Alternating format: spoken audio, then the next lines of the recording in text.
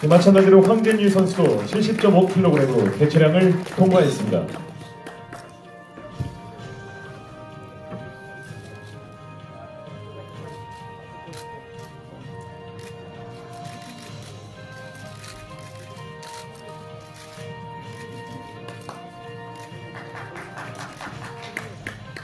네, 우리 양 선수의 어, 사진 촬영 후에는 각각 그 출전을 앞둔 선수들의 소감을 들어보도록 하겠습니다.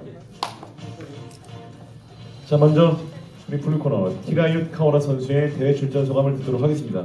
그 태국 선수이기 때문에 어, 영어로 한번 통역하고 또그 영어를 어, 한국어로 다시 통화, 어, 통역을 해서 여러분께 출전 소감을 들려드리도록 하겠습니다.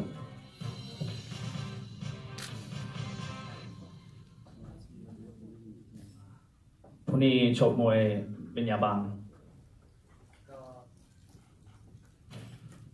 ก็ความมั่นใจเต็มร้อยว่าจะชนะแน่นอนครับ Uh, tomorrow he's ready to put on a good show and he's going to win for sure.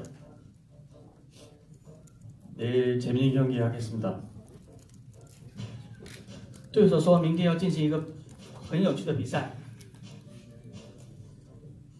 예, 다음은 우리 황진유 선수 예, 출전 소감 듣도록 하겠습니다. 麻烦发表一下参加比赛的感想。 呃，这次参加路德 FC 感到无比的高兴。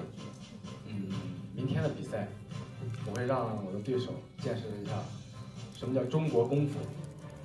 저는 로드 FC参加 것을 굉장히 영광으로 생각합니다. 저는 내일 저희 상대에게 중국의 쿵푸가 어떤 것인지 잘 보여주겠습니다.